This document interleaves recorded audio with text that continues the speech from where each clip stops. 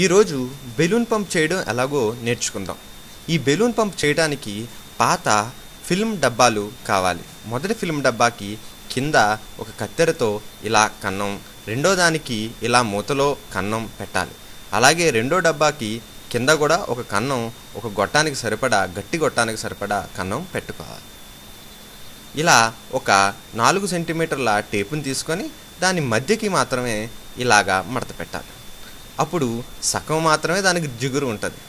అలా ఉన్న ఈ టేపుని తీసుకొని రంధ్రానికి ఆ జిగురు పార్ట్ పక్కకు వచ్చేటట్టు ఇలా అతికించాలి.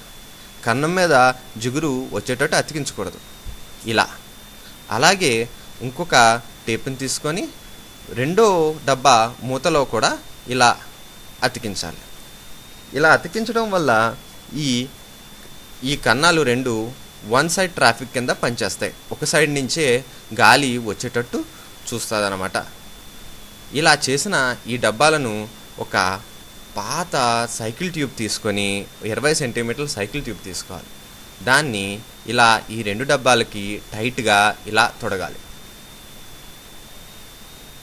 ఎంత టైట్గా ఉంటే అంత లీకేజ్ లేకుండా ఈ గాలి పంపు పనిచేస్తూ ఉంటుంది అనమాట ఇప్పుడు ఒక బలూన్ని తీసుకొని ఆ గట్టి గొట్టానికి ఇలా రబ్బర్ బ్యాండ్ వేసి ఇలా పైప్లో గుచ్చాలి. ఇలా గుచ్చిన మీ పైపు రెడీ. ఇలా రెండు చేతుల మధ్యన పట్టుకొని ఇలా పంప్ చేయడంతో మీ పంపు రెడీ అవుతుంది. ఇది కేవలం రెండు చేతులతో కాకుండా ఒక చేతితో కూడా చేయొచ్చు.